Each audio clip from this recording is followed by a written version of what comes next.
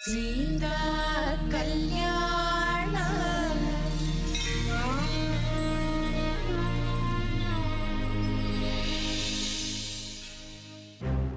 Machine install ചെയ്യാനോ? ഇല്ല. ഇങ്ങനൊരു തീരുമാനം എടുത്ത കാര്യം ഞാൻ അറിഞ്ഞില്ല. അജയ് സാറിന്റെ നിർദ്ദേശമായിരുന്നു ബോർഡങ്ങൾ അത് അംഗീകരിച്ചു. കല്യാൺ സാർ ഒപ്പും വെച്ചു. മെഷീൻ ഇൻസ്റ്റാൾ ചെയ്താൽ നൂറ്റി അൻപത് തൊഴിലാളികൾക്ക് ജോലി നഷ്ടമാവും. ഞങ്ങളെ പിരിച്ചുവിടും. എന്തു ചെയ്യണം മാഡം? സമരമാണ് ഏക മാർഗം. ഇപ്പൊ സമരത്തിനിറങ്ങിയാൽ എടുത്ത ഓർഡറുകൾ സമയത്തിന് കൊടുക്കാൻ പറ്റില്ല. സമരം വിജയിക്കുന്ന ഒരു ഉറപ്പും ഞങ്ങൾക്കില്ല മാഡം. കല്യാൺ സാർ പാവമാണ്. അമ്മയും അനിയനും പറയുന്ന അനുസരിക്കാതെ പറ്റില്ലല്ലോ. മാഡം വിചാരിച്ചാൽ എന്തെങ്കിലും ചെയ്യാൻ ഒക്കൂ കയ്യിലൊന്നുമില്ലാത്തവരാണ് ഞങ്ങൾ. ഇവിടുത്തെ ജോലി പെട്ടെന്ന് ഇല്ലാതായാൽ കുടുംബം നോക്കാൻ വഴിയില്ലാതാവും. പട്ടിണി കിടക്കേണ്ടി വരും. മാഡം ഞങ്ങളെ സഹായിക്കണം. മെഷീൻ ഇറക്കുമതി ചെയ്യുന്നതിൽ നിന്നും കല്യാൺ സാറിനെ പിന്തിരിപ്പിക്കണം. അത് മാത്രമാണ് വഴി. എനിക്ക് ഉറപ്പ് തരാൻ കഴിയില്ല. എങ്കിലും ഞാൻ ശ്രമിക്കാം. ഇപ്പൊ നിങ്ങൾ ചെല്ല. എടുത്തു ചാടിയ ഒരു സമരത്തിനൊന്നും ഇറങ്ങരുത്.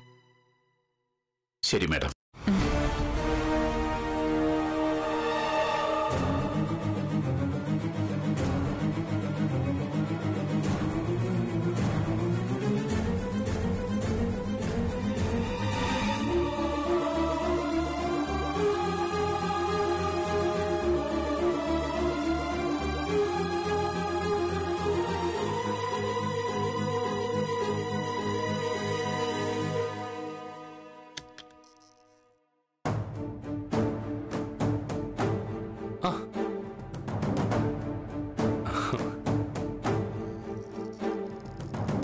താൻ വന്നോ? എന്താ ലേറ്റ് ആയത്? നല്ല വിശപ്പുണ്ട് എനിക്ക്. എന്തായിരുന്നു സ്പെഷ്യൽ കല്യാണിന് വിശപ്പുണ്ട്. അത് പരിഹരിക്കാൻ ആഹാരവും ഉണ്ട് വിശപ്പടക്കാൻ ഒരു വഴിയുമില്ലാത്ത കുറെ പാവങ്ങൾ നമുക്ക് ചുറ്റിനുമുണ്ട്. അവരെ കൂടി ഒന്ന് ഓർക്കണം കല്യാൺ. എന്തായത് തന്നല്ല താൻ ചൂടിലാണല്ലോ. ഒരു കമ്പനി നടത്തുക എന്നുള്ളത് നമ്മുടെ ലാഭത്തെക്കാൾ കുറെ പേരുടെ ജീവിതം കൂടിയാണ്. അവരെ പട്ടിണിയിലേക്ക് തള്ളിവിട്ടിട്ട് നമ്മൾ വിഭവസമൃദ്ധമായി കഴിച്ചിട്ട് എന്ത് കാര്യം കല്യാൺ? ഓ ഇപ്പൊ കാര്യം പിടികിട്ടി. കല്യാൺ എന്തുകൊണ്ട് ഇങ്ങനെ ഒരു തീരുമാനം എടുത്തിട്ട് എന്നോട് പറഞ്ഞില്ല? തനിക്കത് അംഗീകരിക്കാൻ കഴിയില്ലെന്നറിയാം. അതുകൊണ്ടാ പറയാത്തത്. കല്യാണിന് ഇത് അംഗീകരിക്കാൻ എങ്ങനെ കഴിഞ്ഞു? അംഗീകരിക്കേണ്ടി വന്നു. മനസ്സില്ല മനസ്സോടെ. ഇതിൽ നിന്ന് പിന്മാറണം കല്യാൺ. മെഷീൻ ഇറക്കുമതി ചെയ്യേണ്ട കാര്യമില്ല. തൊഴിലാളികളെ പട്ടിണിക്കിടരുത്. അമ്മ അടക്കമുള്ള ബോർഡിന്റെ തീരുമാനം അത്. എനിക്കത് ഒറ്റയ്ക്ക് എതിർക്കാനാവില്ല. അമ്മയോട് സംസാരിക്കണം. ഒന്നുകൂടി ബോർഡ് മീറ്റിംഗ് കൂടി തീരുമാനം തിരുത്തണം. അമ്മ ഇതിന് സമ്മതിക്കുമെന്ന് തോന്നുന്നുണ്ടോ എനിക്ക്? ഈ തീരുമാനം കമ്പനിയെ തളർത്താനാണ്. പിന്നെ എന്നെ തോൽപ്പിക്കാനും. എനിക്ക് മനസ്സിലാവുന്നുണ്ട് കല്യാൺ ചിലതൊക്കെ. എന്തായാലും ഇത് അംഗീകരിക്കാൻ കഴിയില്ല. കല്യാൺ മുമ്പിൽ നിന്നാ മതി. നമുക്കിത് പരിഹരിക്കാം.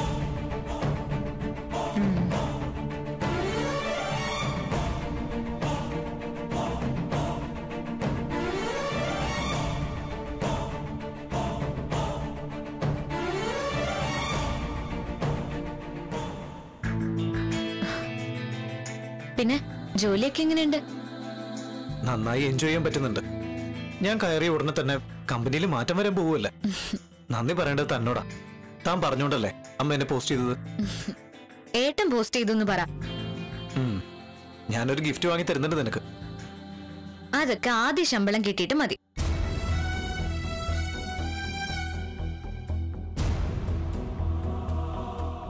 അജയ് എന്തിനാ പെട്ടെന്ന് ഇങ്ങനെ ഒരു തീരുമാനം എടുത്തത്? കമ്പനി കൂടുതൽ യന്ത്രവൽക്കരിക്കുന്നത് കൊണ്ട് വലിയ നേട്ടമൊന്നും ഉണ്ടാവാൻ പോകുന്നില്ല. കുറെ തൊഴിലാളികളുടെ ജോലി കളയാം. അത്ര തന്നെ. ഓ എന്റെ മരുമകൾ തൊഴിലാളികളുടെ വക്കാലത്തുമായി വന്നിരിക്കുകയാണോ? ഇങ്ങനൊരു നിർദ്ദേശം വെച്ചത് ഞാൻ തന്നെയാ. പക്ഷെ എല്ലാവരും സപ്പോർട്ട് ചെയ്തിരുന്നു. ആ, ഏട്ടനല്ലേ ഒപ്പിട്ട് തീരുമാനം പാസ്സാക്കിയത്? അതെ ഇപ്പൊ എന്തു പറ്റി? തൊഴിലാളികൾ വന്നിരുന്നു എന്നെ കാണാൻ. യന്ത്രവൽക്കരിച്ചാൽ അവരുടെ തൊഴിൽ പോകുന്നവർക്ക് പേടിയുണ്ട്. തൊഴിൽ നഷ്ടപ്പെടും. അത് സത്യമല്ലേ? അല്ലെങ്കിലും തിടുക്കപ്പെട്ടെന്തിനാ ഇങ്ങനൊരു ഒരു തീരുമാനം എടുത്തത്? മെഷീൻ ഇൻസ്റ്റാൾ ചെയ്താൽ തൊഴിലാളികളുടെ സ്റ്റുപ്പിഡ് ഡിമാൻഡ്സിൽ നിന്നും നമുക്ക് രക്ഷ നേടാം. പ്രൊഡക്ഷൻ കൂടും. വേഗത്തിലും ആവും. ലാഭവും കൂടും. അതെ. തൊഴിലാളികളുടെ ജീവിതമല്ല. നമ്മുടെ ലാഭം നമ്മൾ നോക്കേണ്ട. അത് ശരിയല്ല. കുറെ തൊഴിലാളികളെ പട്ടിണിക്കിടുന്നതിനോട് എനിക്ക് യോജിപ്പില്ല. മെഷീൻ ഇറക്കുമതി ചെയ്യുന്ന തീരുമാനത്തിൽ നിന്ന് പിന്മാറണമെന്നാണ് എന്റെ അഭിപ്രായം. കണ്ടോ കണ്ടോ? എനിക്കെതിരെ നിൽക്കാൻ കിട്ടുന്ന ഒരവസരവും സീത വെറുതെ കളയില്ല. ഞാൻ അങ്ങനെയൊന്നും ചിന്തിക്കുന്നവളല്ല. നെറുകേട് കണ്ടാൽ ആരുടെ മുഖത്ത് നോക്കിയും പറയും.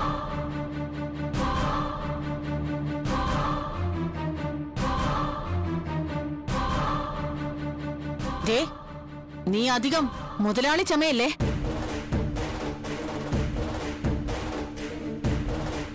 ചേച്ചി എന്തിനാ ഇക്കാര്യത്തിൽ ഇടപെടുന്നേ? ഇവർ തീരുമാനിച്ചോട്ടെ എന്താ വേണ്ടതെന്ന്? ചേച്ചി ഇടപെടേണ്ട കാര്യമില്ല. തൊഴിലാളികളോട് നിനക്ക് അത്രയ്ക്ക് സ്നേഹമുണ്ടെങ്കിൽ നീ നൽകണം അവർക്ക് ജോലി. കുറച്ച് കാശ് കൊടുക്കുക അവർക്ക്. മെഷീൻസ് വരുന്നതോടെ എല്ലാവരും പറഞ്ഞു വിടണം. തൊഴിലാളികൾക്ക് നമ്മുടെ ഔദാര്യമൊന്നും വേണ്ട. അവർക്കും ചില അവകാശങ്ങളുണ്ട്. അത് നമ്മൾ നിഷേധിക്കരുത്. ഇതൊക്കെ ആലോചിച്ചെടുക്കേണ്ട തീരുമാനങ്ങളാ. നാളെ തൊഴിലാളികൾ കമ്പനിക്ക് മുമ്പിൽ സമരം തുടങ്ങിയ. നഷ്ടം നമുക്കാ. അവർ സമരം നടത്തട്ടെ. തൊഴിൽ ചെയ്യാൻ യന്ത്രങ്ങൾ വരുമല്ലേ കമ്പനി തുറക്കാൻ അവർ വിട്ടില്ലെങ്കിലോ? അതിനല്ലേ ഇവിടെ കോടതിയും പോലീസും ഒക്കെ? അതിലേക്കൊക്കെ പോകുന്നത് കമ്പനിയുടെ നടത്തിപ്പിനെ കാര്യമായി ബാധിക്കും. തീരുമാനം പിൻവലിച്ചേ പറ്റൂ. കല്യാൺ കല്യാണിന് അതിന് കഴിയില്ലേ? ബോർഡ് എടുത്ത തീരുമാനമാണിത്. അത് അവനെ ഒറ്റയ്ക്ക് പിൻവലിക്കാൻ പറ്റില്ല. മെഷീൻ ഇറക്കുന്നത് കൊണ്ട് ഒരു ഗുണവുമില്ല മെഷീനുകൾ കൊണ്ട് സാരി ഉണ്ടാക്കാം. എന്നാൽ ഒരു നെയ്ത്തുകാരൻ തന്റെ കല കൊണ്ടുണ്ടാക്കുന്നത് പോലെ ഉണ്ടാക്കാൻ കഴിയില്ല. മെഷീനുകൾ കൊണ്ട് നെയ്യുന്ന സാരികൾ എവിടെയും വാങ്ങാൻ പറ്റും. കൈകൊണ്ട് തൊഴിലാളികൾ തന്റെ തറയിൽ നെയ്യുന്ന പ്രോഡക്റ്റുകൾ മേടിക്കാൻ വിദേശികൾ പോലും ഇവിടേക്ക് വരും. നെയ്ത്തുകാർ നെയ്യുന്നത് പോലുള്ള ഡിസൈൻ മെഷീൻ കൊണ്ടുണ്ടാക്കാൻ കഴിയില്ല. ഏട്ടത്തി ഏത് കാലത്തിലാ ജീവിക്കുന്നത് ഈ കാലത്ത് തന്നെ. നിങ്ങൾ തമ്മിൽ എന്തിനാ ഇങ്ങനെ ഒരു വാശി? അത് കമ്പനിയുടെ നല്ലതിനല്ല. ഇവിടെ നമ്മളല്ല പ്രധാനം. കസ്റ്റമേഴ്സാ അവരുടെ അഭിരുചികളാ. ഇന്ത്യയിലെ തന്നെ രണ്ട് പ്രമുഖ കമ്പനിയിലെ സിഇഒമാർ നാളെ കമ്പനി സന്ദർശിക്കുന്നുണ്ട്. നമ്മുടെ പ്രോഡക്റ്റ് അവർക്ക് ഇഷ്ടമായ കിട്ടാൻ പോകുന്നത് വലിയ ഓർഡറുകളാണ് അവർക്ക് ആവശ്യം മെഷീൻ കൊണ്ട് നെയ്യുന്ന സാരികളായിരിക്കും. അത് അജയ്ക്ക് എങ്ങനെ ഉറപ്പിച്ചു പറയാൻ പറ്റും? ശരി ഒരു കാര്യം ചെയ്യും. ബോർഡ് അംഗങ്ങൾക്കും കമ്പനിയുടെ സിഇഒമാർക്കും മുമ്പിലെ സീതയും അജയും ഒരു പ്രസന്റേഷൻ നടത്ത്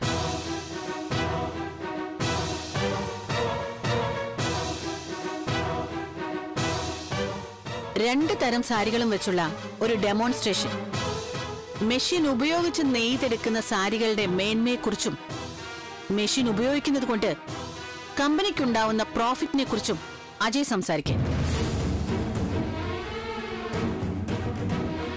തൊഴിലാളികൾ കൈകൊണ്ട് നെയ്യുന്ന സാരികളെ കുറിച്ച് നീയും സംസാരിക്കേ. അവരോട് വിശദീകരിക്കേ.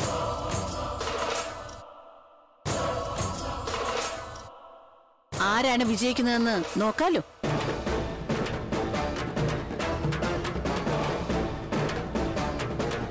നിങ്ങളുടെ പ്രസന്റേഷൻ കേട്ട് സിഇഒമാർ ഏത് സാരിക്കാണോ ഓർഡർ നൽകുന്നത്? അവർ ഇതിൽ വിജയിക്കും. സീത വിജയിച്ചാൽ മെഷീനറീസ് ഇറക്കുന്നതിൽ നിന്ന് പിന്മാറാം. കല്യാണിന് ഓർഡറുകൾ പിൻവലിക്കാം. അജയനാണ് വിജയിക്കുന്നതെങ്കിൽ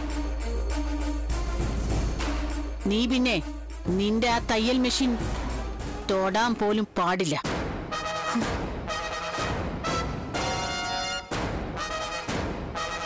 നീ നിന്റെ ജോലി പോലും ഉപേക്ഷിക്കണം.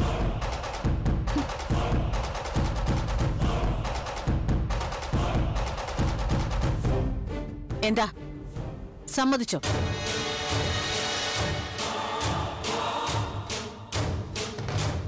എന്താ മിണ്ടാത്തത്? തോൽവി ഇപ്പോഴേ നീ സമ്മതിച്ചോ? എനിക്ക് സമ്മതമാണ്.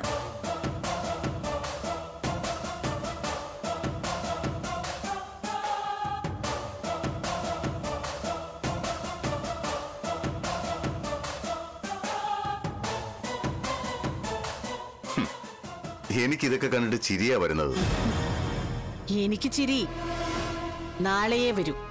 കാരണം നാളെ ഇവൾ തോറ്റ് കരയും. അപ്പൊ അത് കണ്ട് ഞാൻ ചിരിക്കും. അത് നാളെ കാണാം.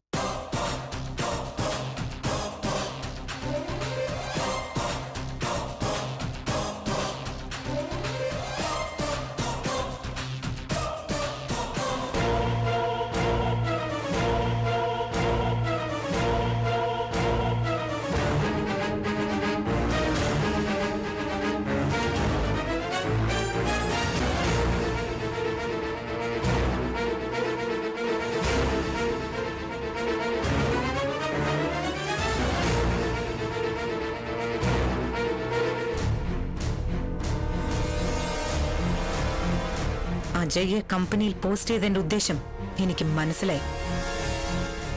അമ്മ പിണക്കിയ തൊഴിലാളികളെ ഞാൻ അനുനയിപ്പിച്ച് കമ്പനിയിൽ തിരികെ കൊണ്ടുവന്നു. അന്ന് മുതൽ അവരെ എങ്ങനെ പിരിച്ചുവിടും എന്നാലോചിക്കുകയാണ് അമ്മ. മെഷീൻ ഇറക്കുമതി ചെയ്യുന്നത് അതിനു വേണ്ടിയാണ്. അമ്മ മുന്നോട്ട് വെച്ച മത്സരത്തിൽ നാളെ ഞാൻ വിജയിക്കും. തൊഴിലാളികൾ ആ കമ്പനിയിൽ തന്നെ ജോലി ചെയ്യും. അത് കാണാം.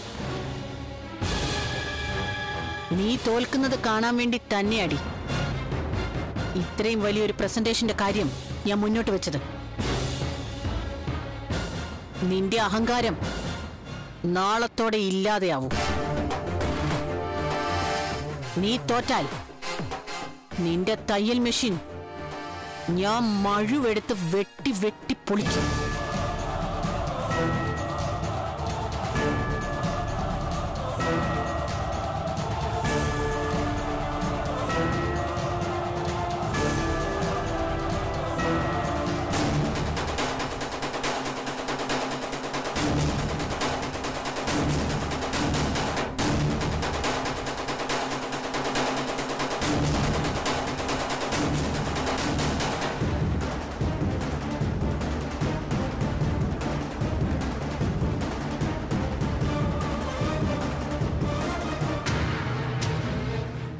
നിന്റെ ചേച്ചി കളിക്കുകയാണ്. അവരെന്തിനാ കമ്പനി കാര്യത്തിൽ ഇടപെടുന്നേ. നീ അവരെ പറഞ്ഞു മനസ്സിലാക്കണം. ഇനി എന്ത് പറയാൻ? ഒക്കെ തീരുമാനിച്ചു കഴിഞ്ഞില്ലേ? ഇനി കമ്പനി സിഇഒമാർക്ക് മുന്നിൽ അജയുടെ ഭാഗമാണ് ശരിയെന്ന് അജയ് തെളിയിക്കേ? അത് ഞാൻ തെളിയിക്കും. എങ്കിലും ഇതൊരു മോശം ഏർപ്പാടാ. കമ്പനി ഓണറുടെ അനുജനും ഭാര്യയും അവർക്ക് മുന്നിൽ മത്സരിക്കാന്ന് വെച്ചാ അവർക്ക് മുമ്പിൽ നമ്മുടെ അനീക്കം തുറന്നു കാട്ടുക. എന്നതല്ലേ അർത്ഥം? പക്ഷേ അമ്മയാണല്ലോ ഇങ്ങനൊരു നിർദ്ദേശം വെച്ചത്. അമ്മയെ കൊണ്ട് ഇങ്ങനൊരു തീരുമാനം എടുപ്പിച്ചത് ഏട്ടത്തിയല്ലേ? തൊഴിലാളികളോടാണ് അവൾക്ക് സ്നേഹം.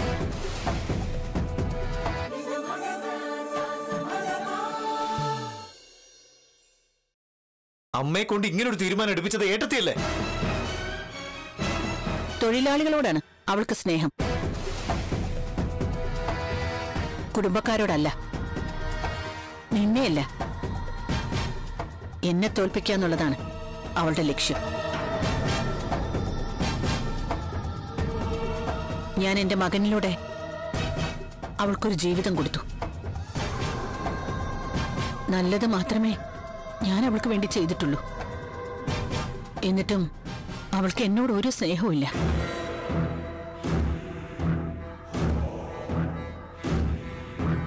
സ്വാതിക്കറിയോ എന്താ അതിന് കാരണമെന്ന്? എനിക്കറിയില്ല അമ്മേ സ്വാതി എത്ര സ്നേഹത്തിലാ എന്നോട് പെരുമാറുന്നത്. പക്ഷെ അവൾ അമ്മ എന്തിനാ കരയുന്ന? അത് വിട്ടേക്ക്. അങ്ങനെ തോറ്റു കൊടുക്കരുത് മോനെ. നാളത്തെ പ്രസന്റേഷനിൽ നീ ജയിക്കണം. പവർലൂമിൽ നിർമ്മിച്ച വസ്ത്രങ്ങളുടെ മേന്മ എന്താണെന്ന് നീ വിശദീകരിക്കണം. മെഷീനറി ഇറക്കുമതി ചെയ്താൽ കമ്പനിക്കുണ്ടാവുന്ന ലാഭവും വിശദീകരിക്കണം.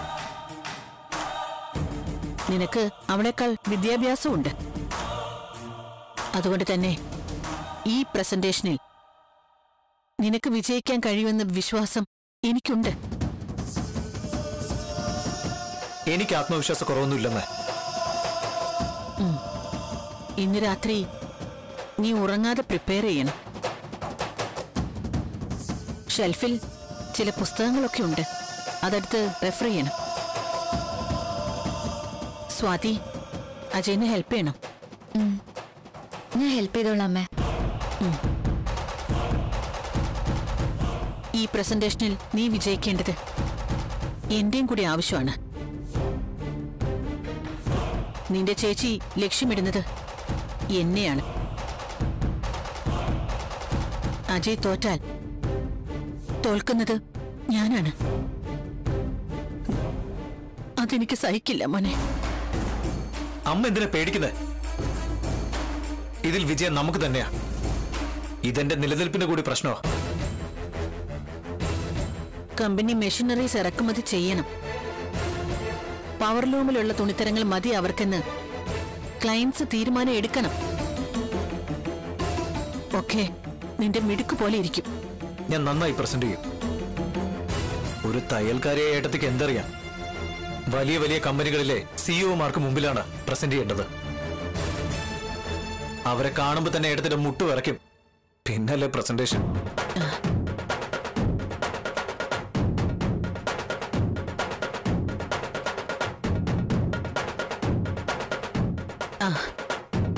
നിന്റെ ചേച്ചിയോട് എനിക്കൊരു വിരോധവും ഇല്ല മോളെ. സ്നേഹം മാത്രമേ ഉള്ളൂ. പക്ഷേ ഈ കാര്യത്തിൽ അവൾ തോൽക്കണം. അവൾ തോൽക്കുന്നതും വിയർക്കുന്നതും കാണാൻ ഞാൻ അവിടെ ഉണ്ടാവും.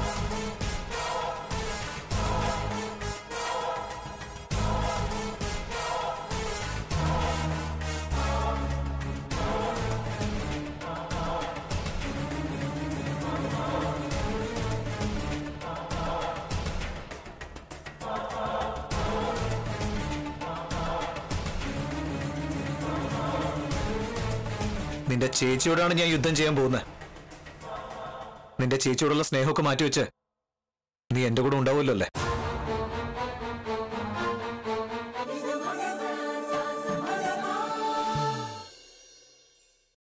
നിന്റെ ചേച്ചിയോടാണ് ഞാൻ യുദ്ധം ചെയ്യാൻ പോകുന്നത്. നിന്റെ ചേച്ചിയോടുള്ള സ്നേഹമൊക്കെ മാറ്റിവെച്ച് നീ എന്റെ കൂടെ ഉണ്ടാവുമല്ലോ അല്ലേ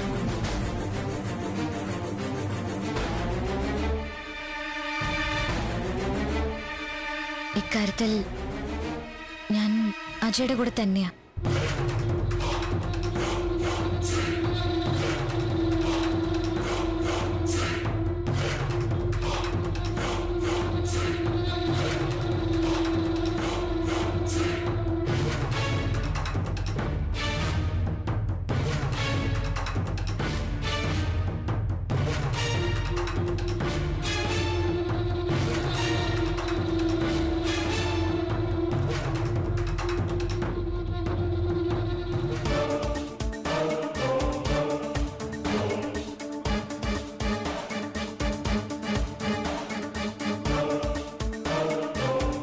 അജയ് പ്രസന്റ് ചെയ്തോളൂ.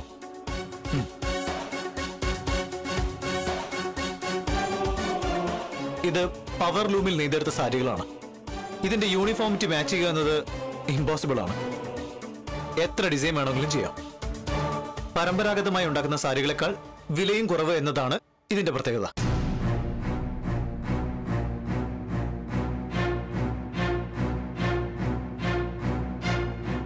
പവർലൂം ആവുമ്പോൾ അമ്പത് സാരികൾ എട്ട് മണിക്കൂർ കൊണ്ട് ഉണ്ടാക്കാം. ലേബർ കോസ്റ്റ് സീറോ മാത്രമേ ആവുന്നുള്ളൂ. കമ്പനിക്ക് ലാഭം. പ്രൊഡക്ഷൻ കോസ്റ്റ് കുറവായതുകൊണ്ട് തന്നെ കസ്റ്റമേഴ്സിന് വില കുറച്ച് സാരികൾ കൊടുക്കാൻ കഴിയും. റീറ്റെയിൽ വിപണിയിൽ അവർക്ക് നല്ല വിലയ്ക്ക് വിൽക്കുകയും ചെയ്യാം. നിങ്ങൾക്ക് ലാഭകരമാണ്. എന്നാലും മെഷീനുകൾ ഫ്രീ ആയിട്ടാണോ കിട്ടുന്നത്? അതിന് വൻ മുതൽ മുടക്കില്ലേ മെഷീനുകൾ വാങ്ങുന്ന പണം കൊണ്ട് രണ്ടു വർഷത്തേക്ക് അൻപത് തൊഴിലാളികൾക്ക് ശമ്പളം കൊടുക്കാം. രണ്ടു വർഷത്തിന് ശേഷം തൊഴിലാളികൾക്ക് ശമ്പളം കൊടുക്കേണ്ടി വരും. അപ്പം മെഷീൻ അത് ഫ്രീ ആവും. അത് ശരിയാ. ദീർഘനാളത്തെ കാര്യം ആലോചിച്ച ഇനിഷ്യൽ കോസ്റ്റ് അവസാനിച്ചതിന് ശേഷം മെഷീനുകൾ ഫ്രീ ആവും.